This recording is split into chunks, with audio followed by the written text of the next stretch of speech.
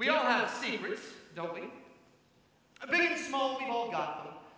Has there ever been a time where you thought that perhaps, for one second, someone knew your secret? Andy has a secret. I know that, Andy. That's what I was just telling these You can't tell them that!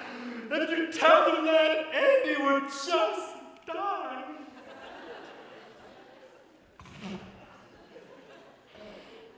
Andy, that tasted horrible.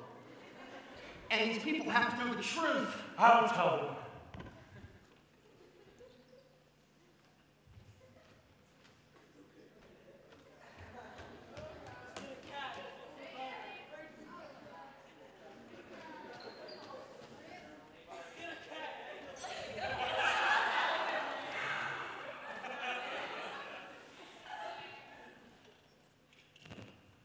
I like the way this part of my ear smells. So sometimes I wipe it. Oh, so disgusting when I smell it. I might barf. And no, Andy, that is not the secret. You can't tell them that! huh? You tell them that, Andy would just die. Andy, we have to I'll do it. be strong.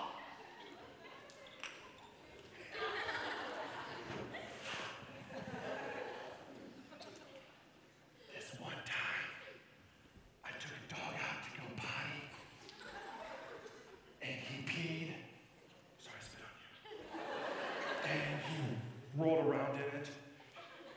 And then I peed and I rolled around in it.